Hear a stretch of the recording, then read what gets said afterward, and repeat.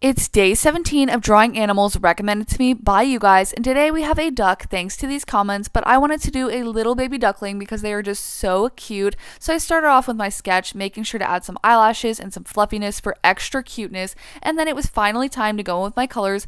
Ducks are pretty much completely yellow, so that's what I went with, and then for the beak, I did this cute little soft baby pink, which just made the whole thing so much cuter. After that, it was time to add in some details with some highlights, which made them look extra extra fluffy, and then it was completed. Like and subscribe, and let me know what animal I should draw next.